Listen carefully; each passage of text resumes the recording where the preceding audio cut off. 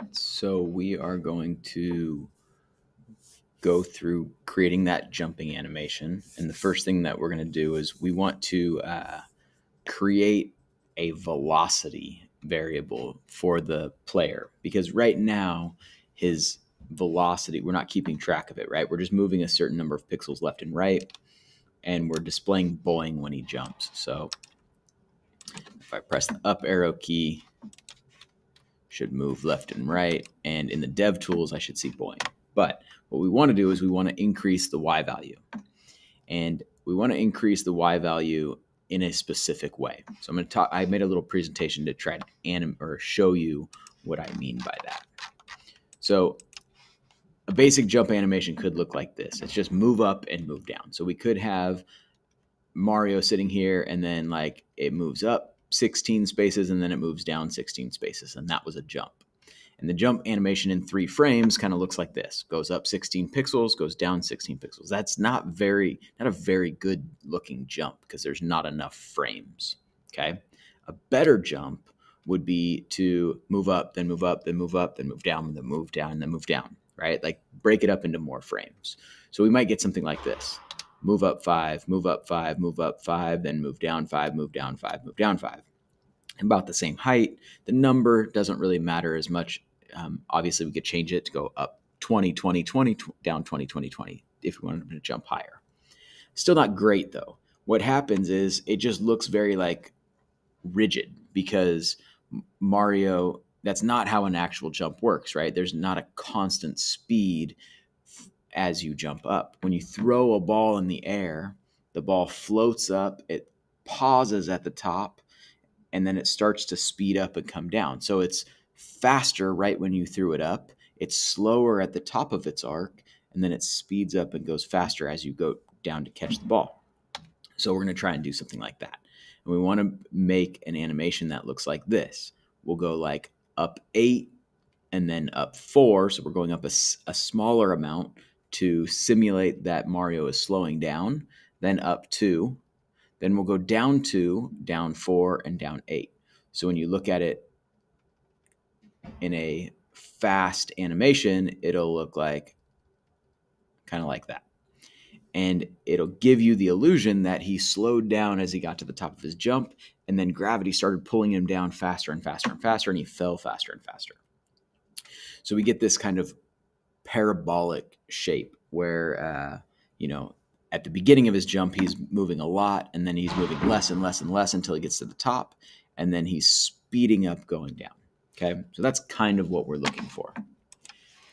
To do that, we need to create another variable. So we're going to create a variable, and that variable is going to be called, uh, let's just call it player velocity. And at the beginning, actually, we should be specific. Player, let's say py velocity because we're only talking about velocity up and down. His left and right, he just moves left and right. At the beginning, when he's standing still, he has no player velocity. There, there's no change in his movement right now. So at the beginning, we're just going to start with player velocity equals zero. Okay.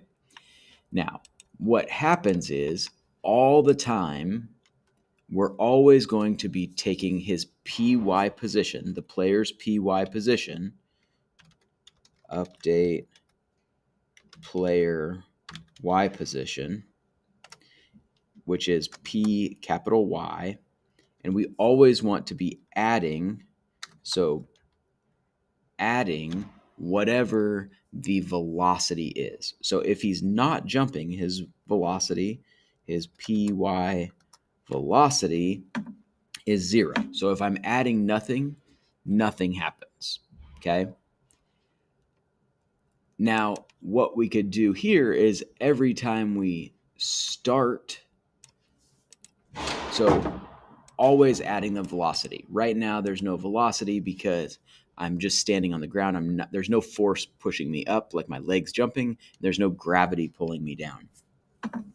So when we press that the up arrow, we're going to change the player Y velocity and we're going to set that player uh, y velocity to, I don't know, something like maybe we go with eight. That was what I said in my, my little animation. So we're going to set the player y velocity to eight. That's all great. And if we run it now, we should be able to move left and right. And as soon as I do boing, oh, he goes down. All right, so player y velocity is in the wrong direction. We actually need to change it to negative uh, 8, or we could subtract the player y velocity. I think that makes more sense. So let's go ahead and subtract the player y velocity instead. Okay, so I'm moving back and forth. When I press the up arrow, he starts jumping up, which is great. He's jumped super high, but he doesn't start to come back down. We need to create a conditional statement so that as soon as I jump and I'm off the sc- I'm off the ground, I start decreasing the player y velocity.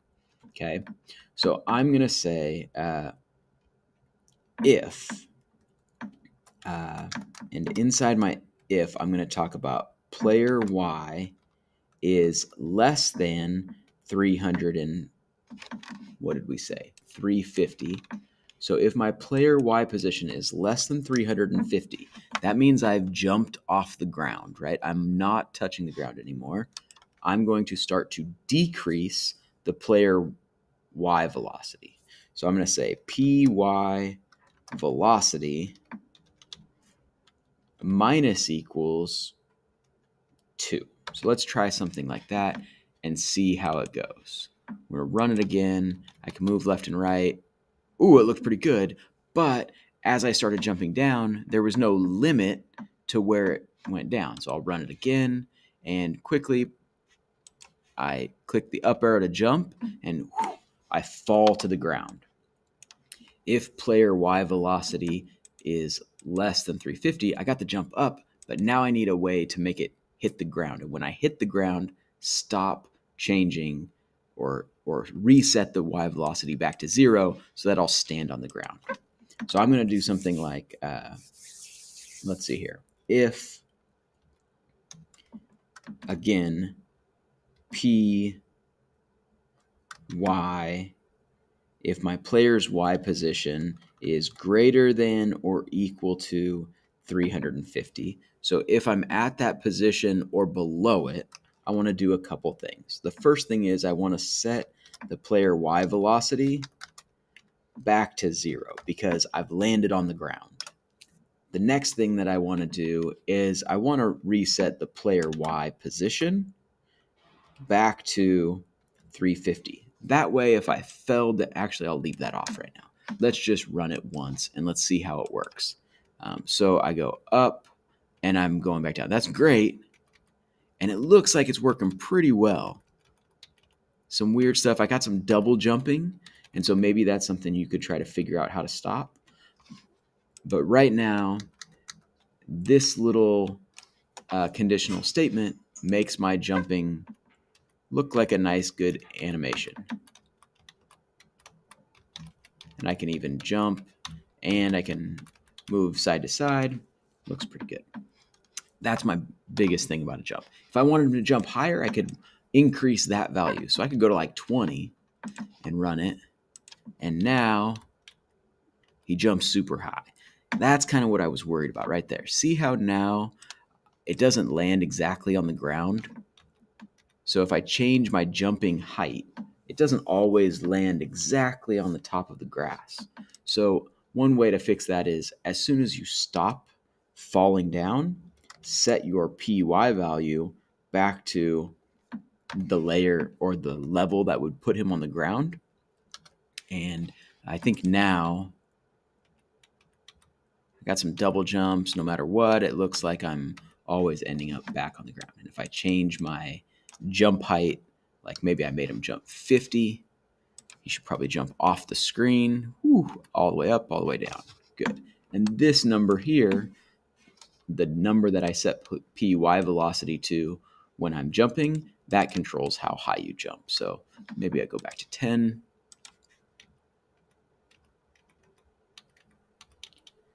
You could probably add another uh, condition right here that says like, hey, only allow them to jump if their Y position is down on the ground. That way they couldn't do this uh, double jump feature, but that's up to you. All right, there's our jumping animation. Add what you can, create some stuff or some better a better picture for the draw player. Maybe try to load an image in here so that like an image of Mario and he can jump. Um, I don't know. Go wild with it.